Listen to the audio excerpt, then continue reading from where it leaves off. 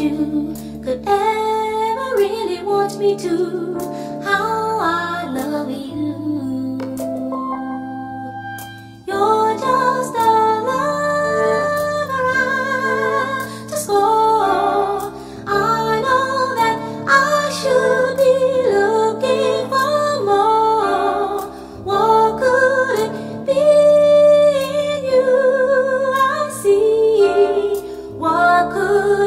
Be?